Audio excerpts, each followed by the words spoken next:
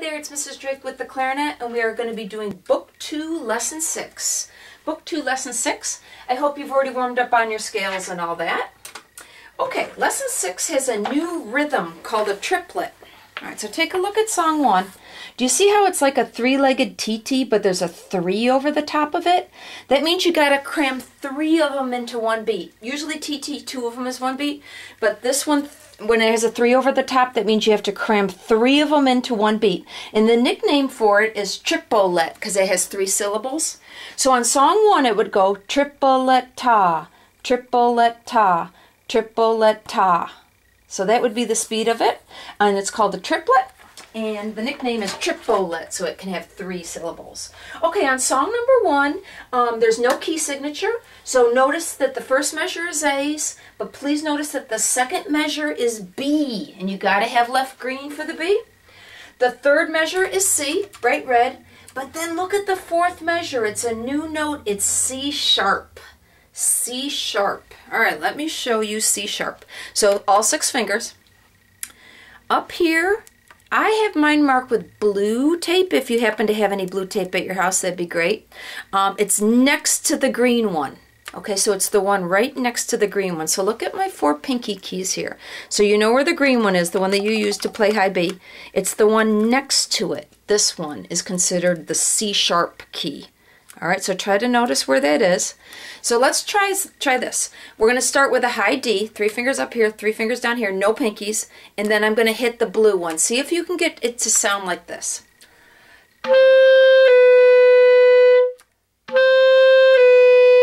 Then you know you're hitting the right one. Try that, everybody.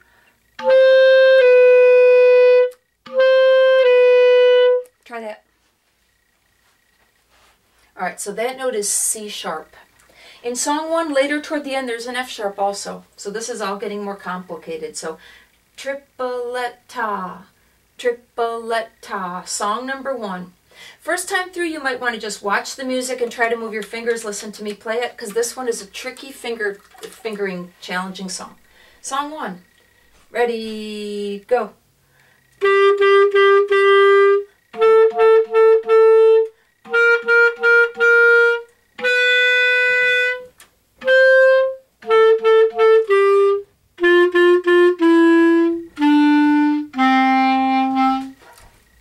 Difficult song. Okay, song two is the D major scale, and I think we've already probably already tried this. It's going to have the sound of do, re, mi, fa, sol, la, ti, do. Notice the key signature though. It has F sharp and C sharp, so you are going to need that blue one for the C on this one also. Okay, song two. Okay, everybody, song two. One, two, ready, go.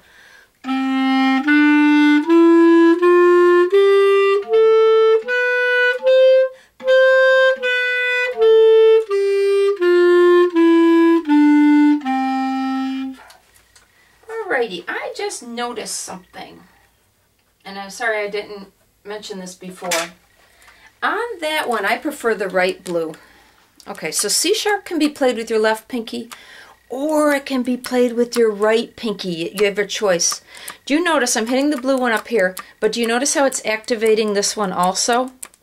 So you could play C sharp with your right pinky on this one. And in that D, major scale, song number two, and I hope we've already discussed this, but I think it's a better choice to play it with the right blue instead of the left blue on song number two. All right? Alrighty. Um, all right, let's take a look at song number three. Let's, um, song number three. And song number three has F sharp and C sharp, but as you look through song number three, there's no C's in this one anyways. But high F sharp, I want to remind you, is middle finger. The first notes of song three are high F sharp. There is a bunch of slurs. There's a repeat sign. There's also a DC al fine, which means you have to return to the beginning. Do you notice how the beginning is FFF with a slur marking over it? I don't feel like that's appropriate for elementary school. What that means is you're supposed to lightly flick your tongue on the F's. Um, technically they're not ties. So I'm going to get rid of that first slur marking. I'm getting ready that first slur marking. There's one later in the song where if you have the same notes under a slur marking, you're supposed to flick your tongue gently. It's the one like at measure 13 going into measure 14. Um, all right. But anyways, okay, so song number three starts with F sharp middle finger, including all the repeats. I'm going to do the slurs. If you feel like it's too challenging, maybe first time through, leave off the slurs. Also look ahead, you see there's some high A's in this song. In the third measure, the first note of the third measure is high A. Challenging. Again, song three is pretty challenging. The first time through it, you might want to just listen to me play it and, and try to move your fingers along with me. Again, you can leave off the slurs. That makes it easier too. Okay, everybody, song three. Ready, get set, go.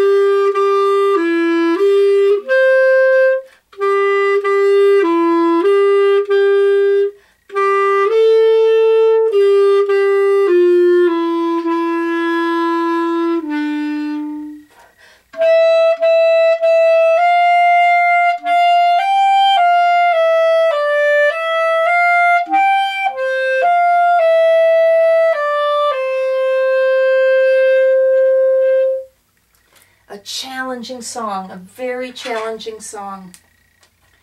All right, everybody. Song four is a little Bach for band.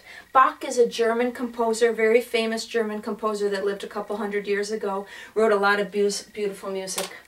Okay, song four, the first note is high A. Whoa, challenging. It has an F sharp and C sharp key signature. Uh, there are no C's in it. But when a melody ends on D, often um, the key of D, they'll have F sharp key signature, F sharp and C sharp key signature, even if there's no C's in it. Reminder, the F's have to be played middle finger F sharp. A lot of slurs in this one also. First time through, again, you might want to just listen to me play it to get used to it. Okay, I'm going to warm up the beginning.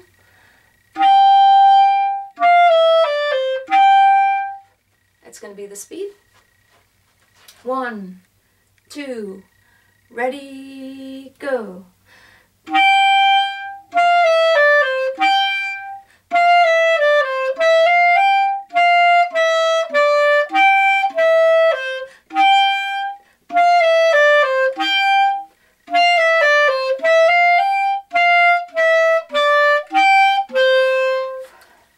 Challenging but a beautiful piece of music.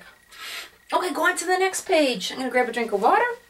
Hey, Little Brown Jug is going to be comfortably easy compared to those uh, hard songs that we just played. Check the key signature of number five, B flat key signature. So if you need to write a reminder by the B's, it's going to be first finger B flat. They even wrote some of the words if you want to sing the song, I suppose. okay, song five, warm up the beginning.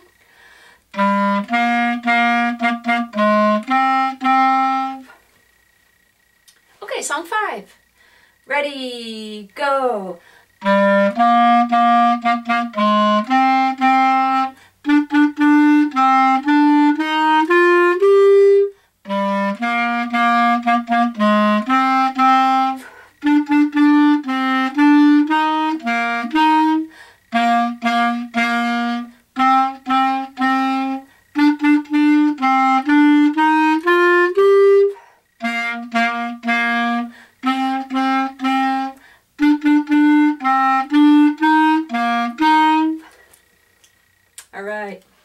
the last one is Let the Party Begin. Notice it's a duet. So I recommend on duets to write A, B, A, B, A, B so you can keep it organized which one you're playing. And then of course you got to decide are you playing the A staffs or are you playing the B staffs. So I'm going to do both. I'm going to play the A staff, then I'm going to play the B staff. So decide, are you going to play with me or are you going to play the opposite one so would, we, we would be playing a duet together. Okay, on this song, notice it has the F sharp and the C sharp key signature. All right, so F sharps and C sharps. Remember the C sharp is the blue key. And I recommend on this one, I'm looking at measure 5, 6, 7, 8. Measure 8 has a C sharp and then it goes to a B. So I recommend the right C sharp, the right C sharp. So the right blue, and I'm actually writing that on my music, right blue. And, okay. Alrighty, so I'm going to play the A staff. Decide if you want to play the A staff with me or play the B staff. Remember to use the F sharp, C sharp key signatures. Of course, I'm going to do the slurs, um, and I encourage you to get where you can get the slurs too. Okay, everybody, warm up the beginning of Let the Party Begin.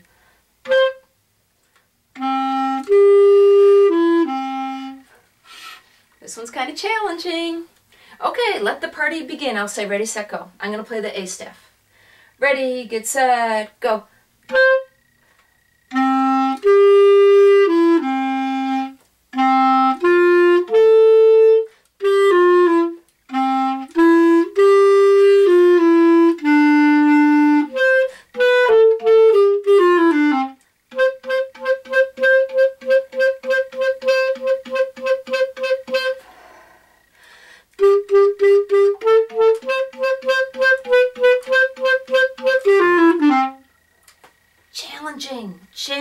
Song, challenging song. Okay, now I'm going to play the B staff. Decide if you want to play with me or do you want to play the A. Okay, B staff. If you're playing B staff, make sure the first note is F sharp. Ready, get set, go.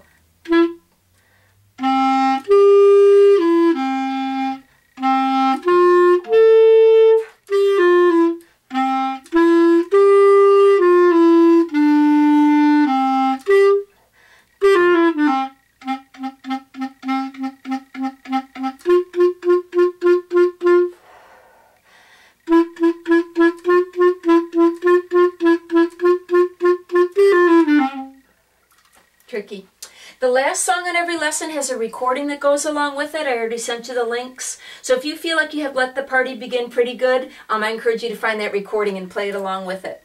Okay, that was lesson six.